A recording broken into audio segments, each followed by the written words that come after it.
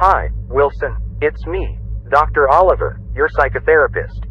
I hope you are having a great time at your therapeutic vacation. I hope our therapy sessions didn't go vain. Anyway, let me know if you have some problems on your therapeutic vacation. See you next month at my office. Also, please, don't forget to listen to my therapeutic tape if your seizures will repeat.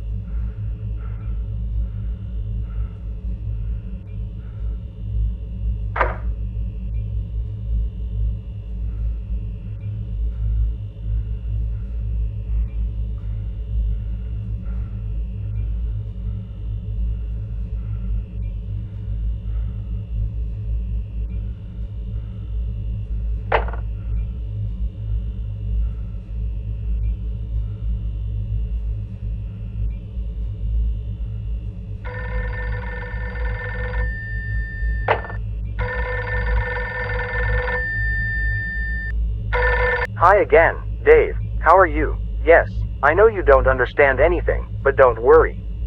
The therapy session is now ended, so you can relax for now.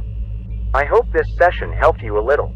You now should go back to your room and try to not leave it anymore. No need, Dave. It may be too dangerous for you and for other people. Please, go back to your room.